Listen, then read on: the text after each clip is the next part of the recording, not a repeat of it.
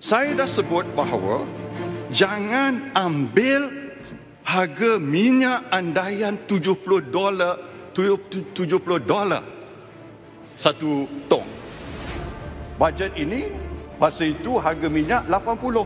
Dalam bajet ini 72 tuan dan puan dolar Amerika setong. Semalam Brent crude dah jatuh pada 65 ringgit. Maknanya tak sampai 10 hari andaian bajet 2019 ini sudah tidak relevan lagi. Ini serius tuan ketua. Setakat ini RM65 ringgit. Kalau dia turun lagi sampai ke 60, 55, waktu saya jadi menteri kewangan dahulu sampai 28 ringgit. 28 dolar Amerika setong. Jatuh. Tapi kerana dasar kita yang prudent, kita tak mengalami krisis kewangan dan kemelesetan ekonomi. Jadi tuan dan tuan, ini serius. Ini serius implikasi kepada hasil negara, pada hutang negara.